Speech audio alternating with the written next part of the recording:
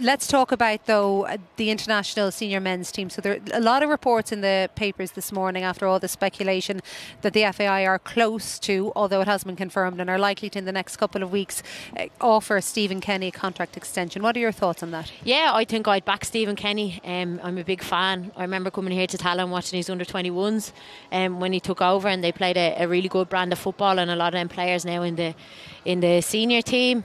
Um, look, they've came a long way from that Luxembourg defeat in the Aviva Stadium, um, and the the, the win uh, against Luxembourg, the 3 0 win, was was really good to watch. Um, I particularly liked the enjoyed the, the second goal when when they played out from the back, switched it from from right to left, and a really clever ball through from from Hendrick, and it was Knight who came on and changed the game, and Ogbene got a, a really well deserved goal too. So, look, like really nice intricate play and um, I think the, the future is bright, and I think the Nations League will be really good uh, preparation. Not that it's to be underestimated for the European qualifiers coming up. Funnily enough, a couple of the players involved in those goals could well be playing this evening because they are eligible to play. Because Stephen Kenny has obviously gone with a lot of youth, a lot, a lot of experienced players as well. What are your thoughts on it, Noel? Well, my thoughts. I'm a pro Ireland and pro. I'm not anti Stephen Kenny, not anti anybody. Uh, I think he'd be a very lucky man. I think at this time, I, would agree with what Liam Brady had said earlier in the week, uh, where you, there's no rush. Why would you rush? The Nations League is uh, against six games against teams who are down in our own re- not relegation in our own uh, division seedings at this stage, and I think that would be a great judge to see how we go. Um, I don't see the benefits uh, of actually giving them an extension at this stage. I think that's just normal football.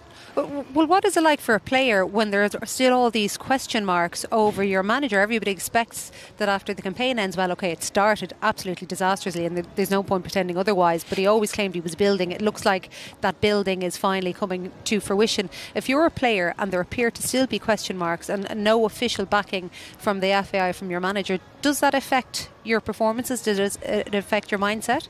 Um, look, I think from the whole campaign, you can see there's a real togetherness with the, the of players and the squads, and I think they've came out um, publicly and, and backed the manager and.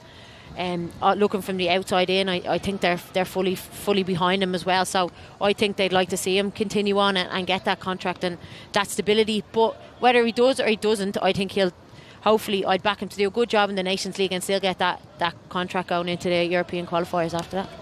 I, I, think players want to win. I think they want to play. They want to be successful. And there's an awful lot made out of managers that doesn't really uh, involve them. It's the players and the quality of the players that you have to work with, and that could be at the girls' game, it could be at the men's game, and I think it's it's how you do that.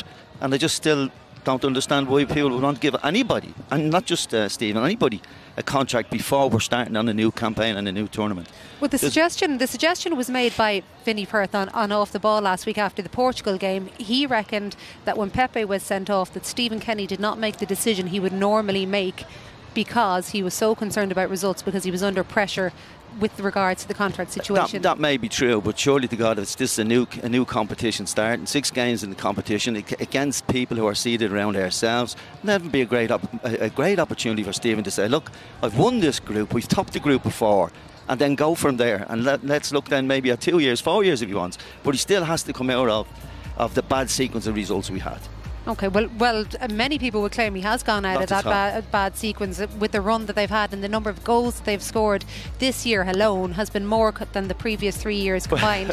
John, uh, John, when you talk about very, very, very small number of goals scored, we went so many games without scoring, and that wasn't a joy to anybody, and nobody likes seeing that. And I'm not criticising anybody for it, but that's just the reality of, of the way we are.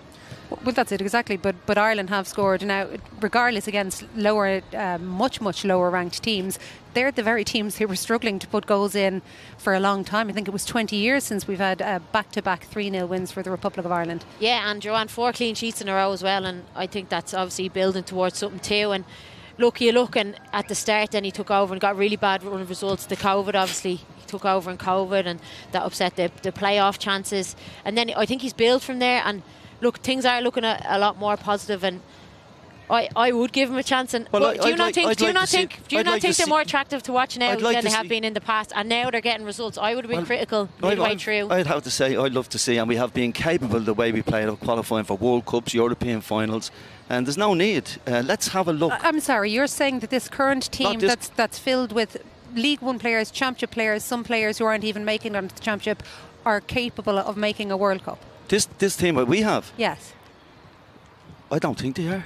I hope okay, they are. I, I think that I think that was the general point made, wasn't it? The third seeds in the group and the finished third seeds, although only goal difference separating from Luxembourg, which would be, I presume, an argument that, that Noel and Liam would both make.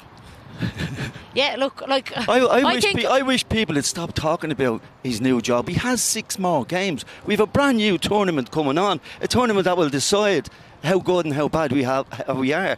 It won't be over one game or two games. It'll be over six games. Let's see how we go. We're all behind him. If he wins and he's successful, if he's not, well, everybody goes against the, the poor old manager.